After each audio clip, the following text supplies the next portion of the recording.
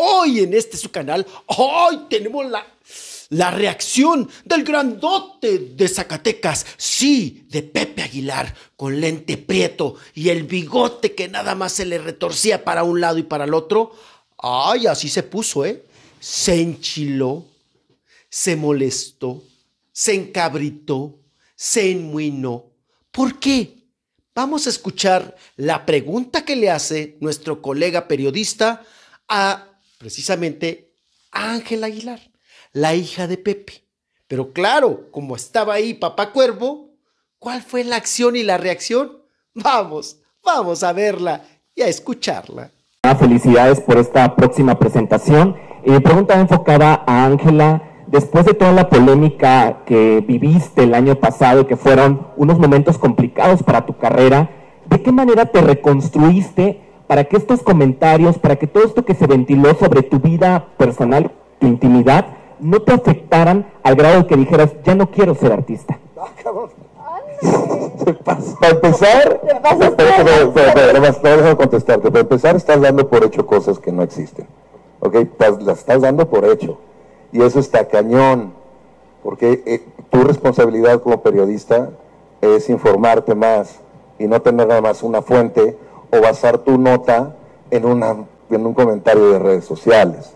Y las redes sociales son tremendamente importantes, pero no te, o sea, tampoco hay que eh, mentirle al público, porque pues yo lo que he visto es que la gente la quiere muchísimo, llena todos los lugares donde va, se acaba de presentar en el Auditorio Nacional dos veces. ¿Qué agonía está el número uno en quién sabe cuántos mendigos países? ¿Por qué no le preguntas eso? Ve. A ver, pregunta eso. De veras, ¿por qué no le preguntas eso? Agarra el micrófono y pregunta eso. Eh, Pero ahí no quedó todo. Ángel Aguilar le pepenó el micrófono y dijo, yo puedo, pa, yo puedo, pa, contestar. Ya tengo 19 años y ya tengo el suficiente callo y colmillo para este tipo de preguntas y situaciones. Vamos a escucharla. No, a ver, mis papás y mi hermano siempre me van a defender de todo. Entiendo tu pregunta. ¿Por qué? Porque es algo que todo el mundo ha estado hablando al respecto y como persona pública tengo que vivirlo.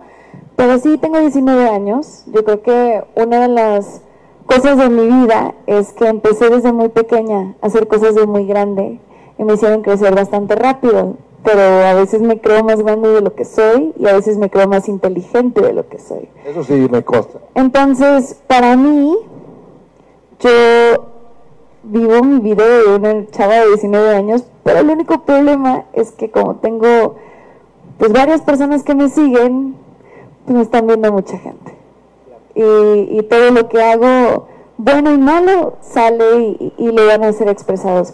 Lo que sí les puedo decir es que justo todo lo que dijo mi papá, yo creo que con los hechos hablo. Y no sé hablar, pero sí sé cantar. Y para mí, la música mexicana, México, Jaripeo sin fronteras, Plaza México, eso es lo que yo soy, eso es lo que verdaderamente soy. No, don Pepe, no se enganche, por favor. No, no, no, no es necesario, oiga. No tiene caso. Usted mismo lo ha dicho. Así son las redes sociales. La criatura le demostró, don Pepe, que tiene más madurez, que supo contestar, que supo enfrentar el toro, que le puso el pecho a las balas para este tipo de preguntas y las que vendrán en toda su carrera.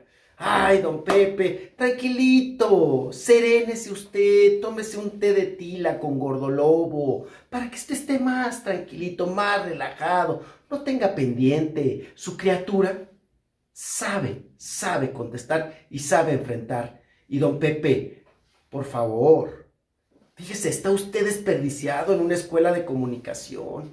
Debería usted dar clases de ética de la comunicación, de géneros periodísticos porque eso de corregir a un reportero, a un periodista en su profesión, creo que está por demás. Aquí, zapatero a tus zapatos. Cuídense mucho, nos vemos y hasta la próxima.